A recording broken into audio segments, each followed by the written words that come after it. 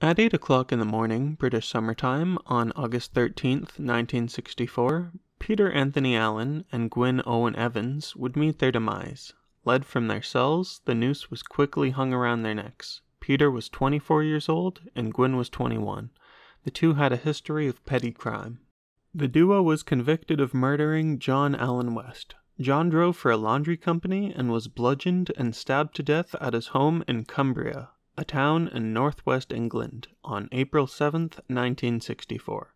Peter and Gwynne drove to John's house in a car stolen from Preston, Lancashire, and Gwynne knew John and knew he lived alone after his mother's death. Gwynne and Peter wanted to pay a court debt. Police found Gwynne's jacket hanging on John's banister, which led the police to the culprits within two days of the crime. Both Peter and Gwynne blamed the other for the crime, but both were found guilty and executed.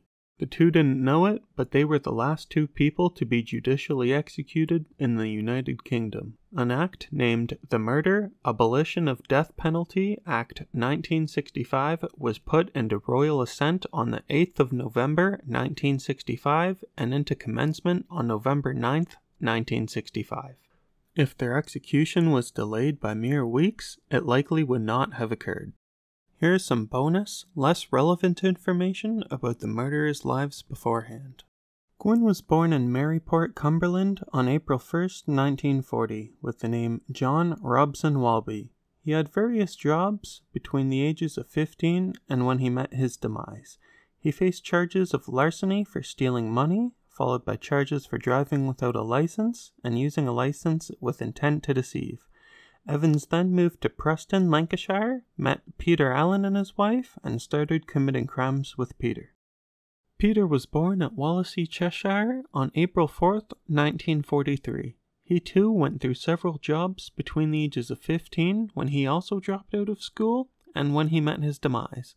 On November 11, 1961, Peter married Mary, who was a cinema usherette. They had a Catholic wedding and moved to Manchester. The two failed to cover up their license plate after committing a crime, which led to their arrest and fines of £10.